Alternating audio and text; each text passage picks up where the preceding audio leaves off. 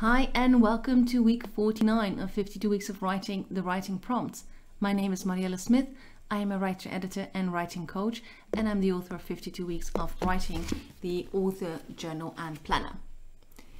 In this YouTube series, what I've been doing is I'm taking the writing prompts that were included in this first volume of the book and I'm sharing them with you.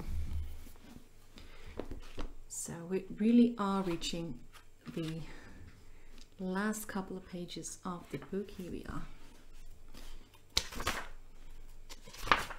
Okay. Prompt number uh, 49. You ready?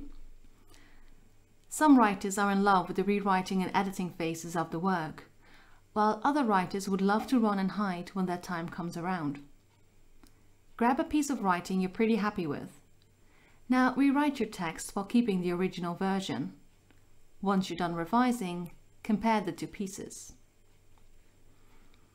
If you're feeling particularly bold this week, send both pieces to a critique partner or writing buddy without telling them which is the original and which is the 2.0 version.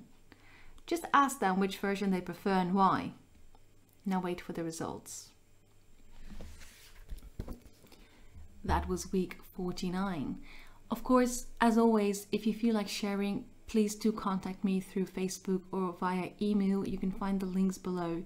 But particularly for this week and this exercise, if you don't have a critique partner or you don't have that writing buddy and you do want to do the bold part of this um, prompt, do feel free to send both pieces to me. Just make sure um, that I can't tell from the title that you give the pieces, um, which is the original and which is the 2.0 version. Um, and, and I will tell you what I think.